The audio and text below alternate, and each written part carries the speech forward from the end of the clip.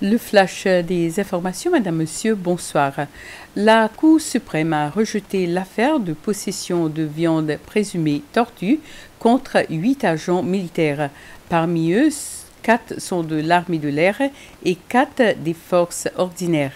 Ils avaient tous été soupçonnés d'être impliqués dans le braconnage et la possession d'environ 38 kilos de viande de tortue fraîche et salée.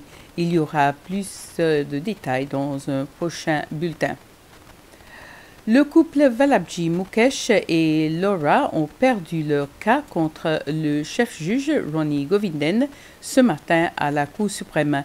Il demandait au chef-juge de se retirer de l'affaire de corruption et d'armes.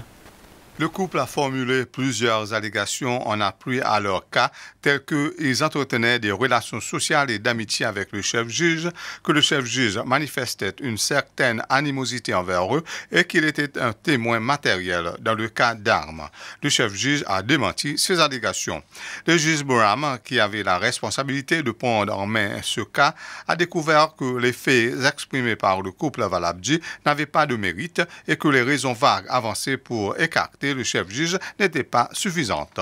La Cour a aussi constaté que le couple Valabdi n'a pas expliqué pourquoi ils ont avancé les faits 16 mois après que le cas ait été assigné au chef-juge, alors que les prétendues circonstances leur étaient bien connues au début de l'affaire.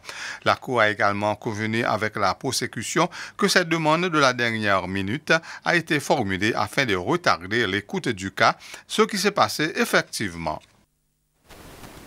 Dans le cadre des rencontres du président au niveau des districts, aujourd'hui, euh, la rencontre est au centre communautaire du Grand Os Pralin et c'est débuté à 17h.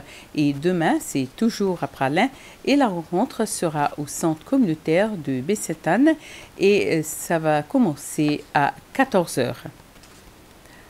La direction du tourisme a organisé sa réunion stratégique pour informer ses partenaires de ses objectifs, alors que la réunion reste axée sur le marketing de la destination.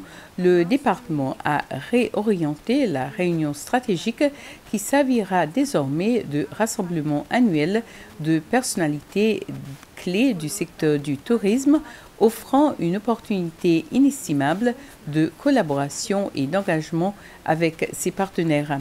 La secrétaire principale du tourisme, Shirin Francis, a déclaré que le tourisme est une industrie qui touche tout le monde et qu'il est important que le département communique ses orientations à ses partenaires, en particulier ceux dont le département du tourisme a besoin pour atteindre ses objectifs. Aujourd'hui, les enfants à travers tout le pays ont célébré la fête qui leur a été dédiée. Plusieurs activités se sont déroulées dans les écoles. À l'école de Bello, le président Wevelon Calawan a souligné l'importance d'une famille euh, solide, de l'amour et de l'apprentissage lors d'une petite rencontre sociale.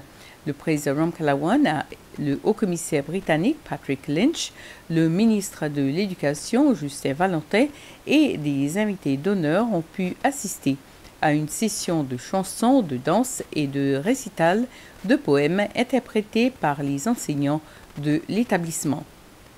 Voilà, c'était le flash. Merci de l'avoir suivi et bonne soirée.